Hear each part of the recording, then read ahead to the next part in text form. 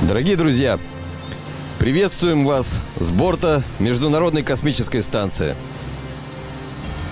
Ровно 60 лет назад, 12 апреля, произошло событие, ставшее поворотным в мировой истории.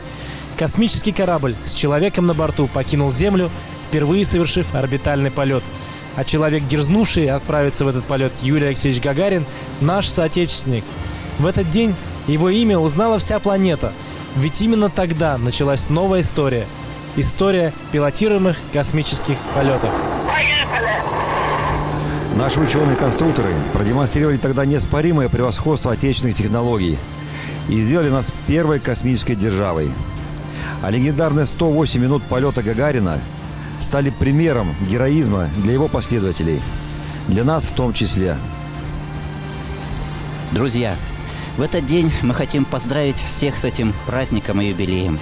Мы говорим спасибо всем, кто посвятил свою жизнь изучению Вселенной. Мы благодарим всех, кто работал и продолжает работать, продвигая человечество дальше и дальше в изучении космоса.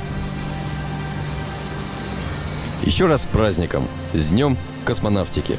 Космонавты Роскосмоса Сергей Рыжиков, Сергей Кузьмичков. Олег Новицкий, И Петр Дубров.